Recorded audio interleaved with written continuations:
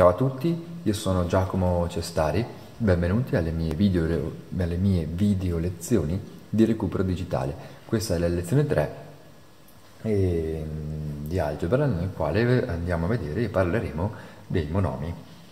E, ehm, quello che stiamo facendo in queste prime tre lezioni è proprio fare eh, un cappello introduttivo che ci permetterà poi di capire meglio come fare i calcoli e le operazioni con i monomi. E, ehm, è solo una parte teorica dove definiamo alcuni, alcuni aspetti e, che poi riprenderemo un po', un po avanti. No? E, allora, innanzitutto dobbiamo definire che cos'è un monomio. È un'espressione letterale dove compaiono solo moltiplicazioni e divisioni e eh, eventualmente mh, parte delle, delle lettere e delle cifre.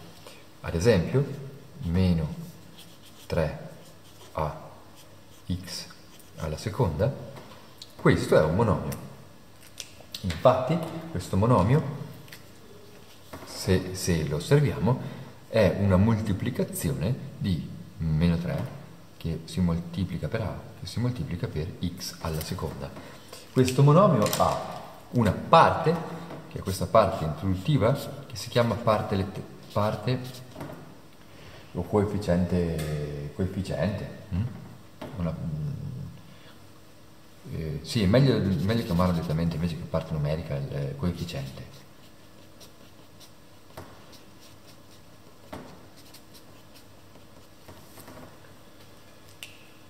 E abbiamo la parte letterale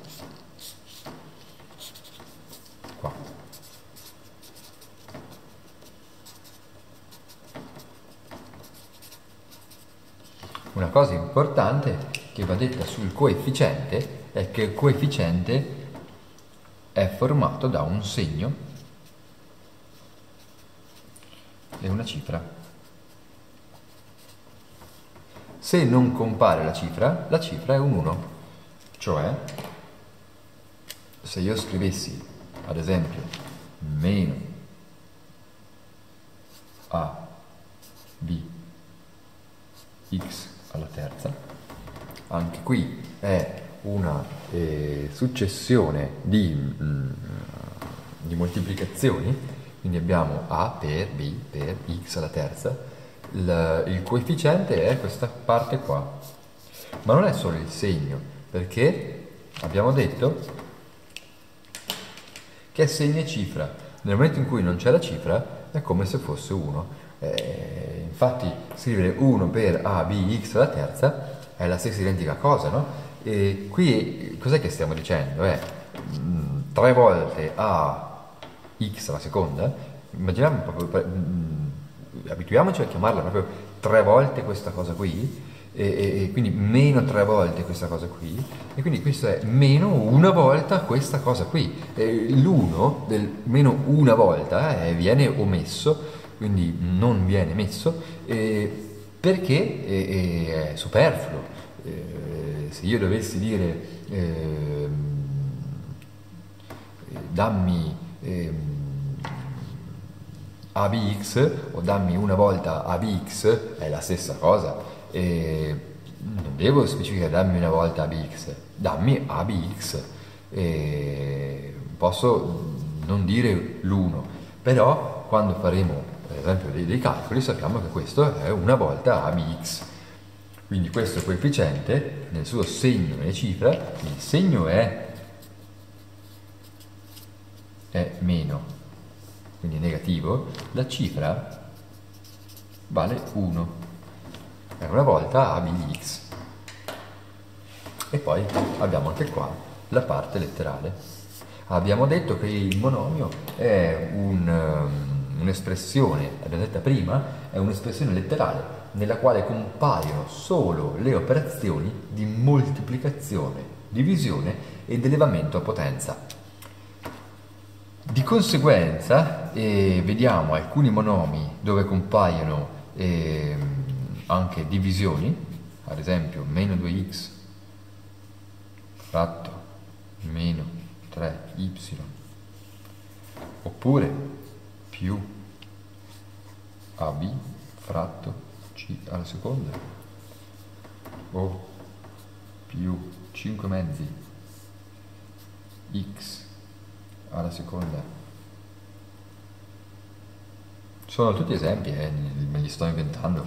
E per inventare queste cose in realtà basta mettere delle, delle lettere e, dei, dei numeri a caso. L'importante è che eh, ci siano solo operazioni di moltiplicazione e divisione. Nel momento in cui eh, scrivessi, ad esempio, 2a fratto b più 3c fratto d, e è vero che ho moltiplicazioni e divisioni, ma ho anche un più. Questa è un'operazione tra monomi, perché questo è un monomio, questo è un altro monomio, e con un più in mezzo io sto facendo un'operazione tra monomi, sto sommando due monomi. Mm? E questo è importante da capire perché dobbiamo, eh, sicuramente se vogliamo capire come fare la somma tra due monomi, dobbiamo capire eh, fin dove è monomio e da dove comincia un altro monomio e qual è l'operazione in mezzo. Mm? Questo allora non è un monomio ma sono due monomi. E monomi ne abbiamo di tutti i tipi, di tutti i colori e, e soprattutto per tutti i gusti. E, ehm, allora, abbiamo ad esempio eh, monomi interi o fratti. Mm? E questo, se le lettere compaiono solo al numeratore hanno tutte esponente positivo, il monomio si dice intero, altrimenti si dice fratto. Di conseguenza, monomi interi, guardate, i monomi interi possono avere il coefficiente fratto, eh? basta che le lettere siano tutte al numeratore A, B, X la seconda. Mm? E questo è un monomio intero. Monomio.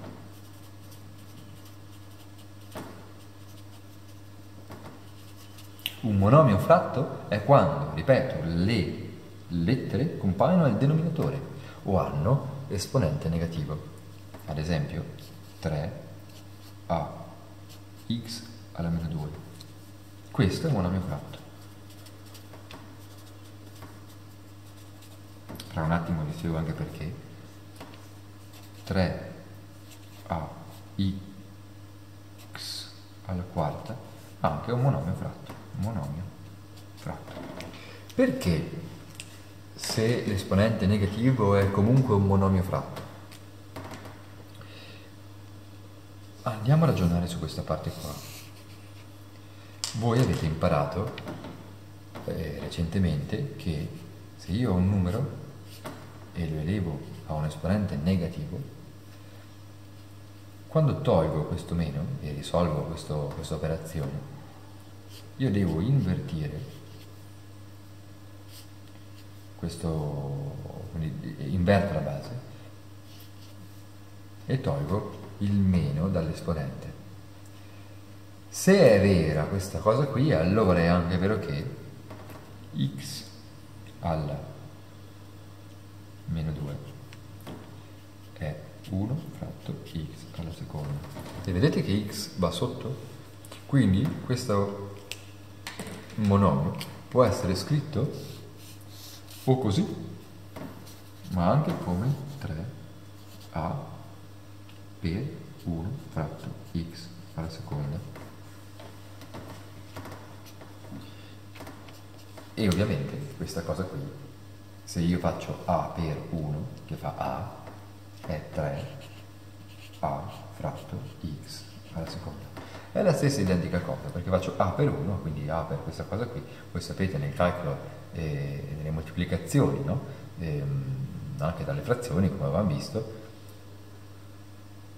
se io ho un risultato palese come questo, A preso una volta è A, x alla seconda rimane sotto 3A fratto x alla seconda. Questo è un monomio fratto. Ci sembra che non lo sia, perché x ci sembra che sia al numeratore, ma avendo esponente negativo va sotto. Mm-hmm. E un'altra cosa importante da sapere eh, sui monomi sono eh, tre parole sostanzialmente, eh, ossia monomi simili, monomi uguali, monomi opposti. Sono tre tipologie di monomi. I simili vuol dire che hanno la stessa parte letterale, hanno la stessa parte letterale.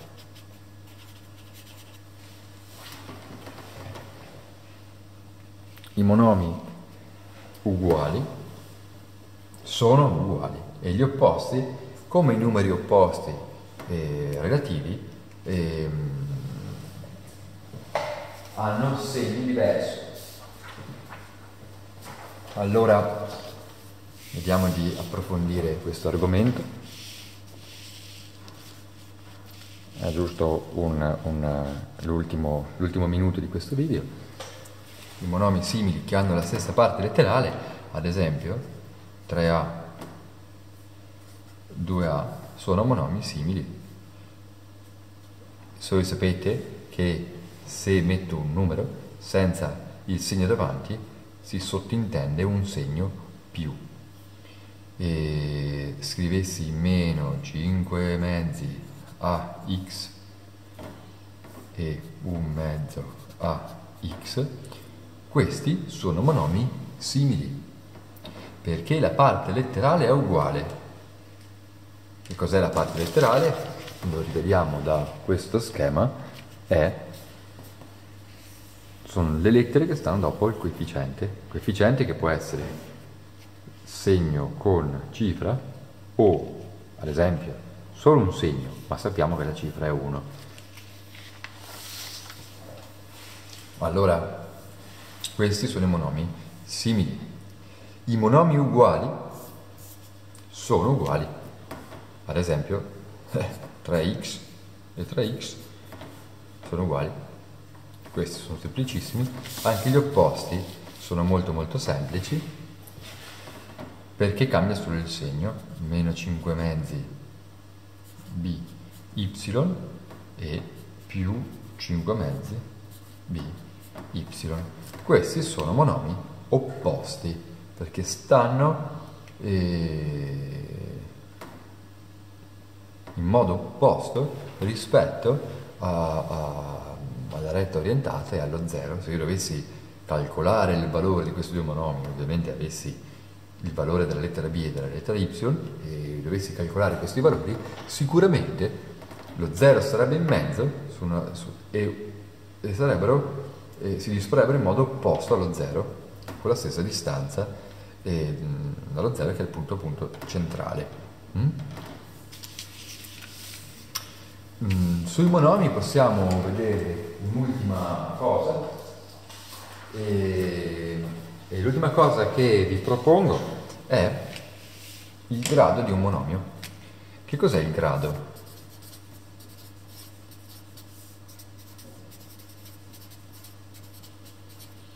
Allora, anche questo è una cosa molto molto semplice. E faccio degli esempi e vediamo se la intuite. Scrivo un monomio di primo grado. Scrivo un monomio di secondo grado. Scrivo un monomio di terzo grado.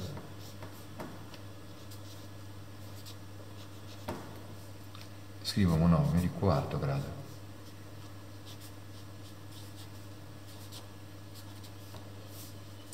Scrivo monomi di quinto grado.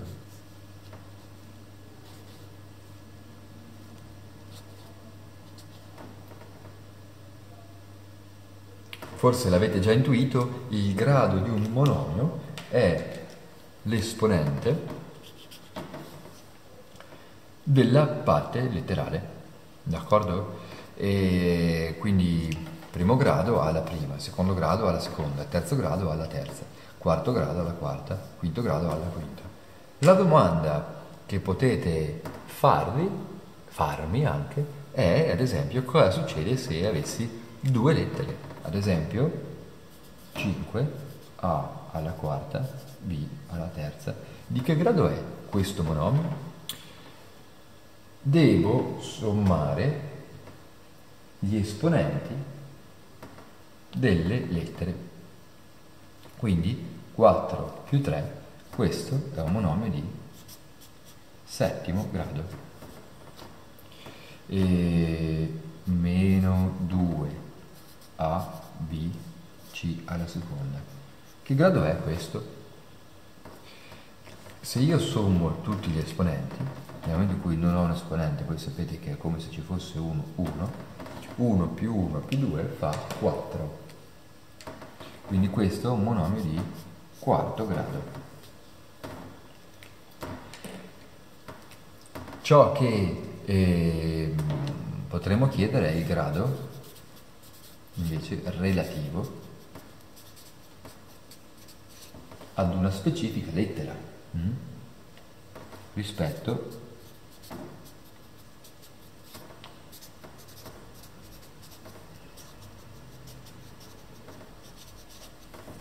grado relativo rispetto ad una lettera. E, ehm, ad esempio 3x alla quarta y. 5 x alla seconda y alla seconda. 7 x y alla settima. Allora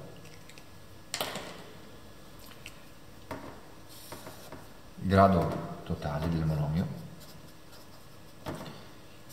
grado relativo alla lettera x, grado relativo alla lettera y.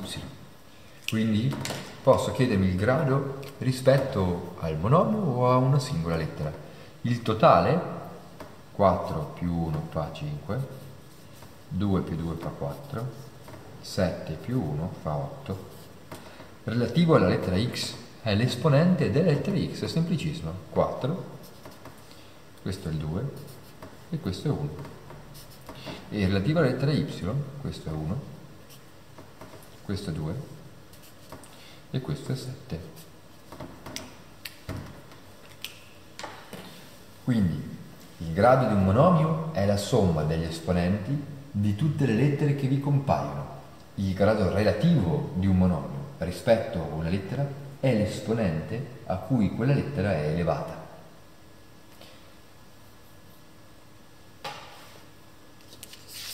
Un esercizio, ad esempio, lasciate perdere questo scritto, non c'entra niente, potrebbe essere ordinami la, la seguente scrittura, i seguenti monomi,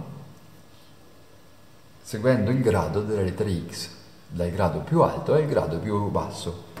Ad esempio la scrittura potrebbe essere più 7 e x y alla seconda meno 3 x alla terza y più 2 x alla seconda y alla quinta meno 5 mezzi x alla quinta y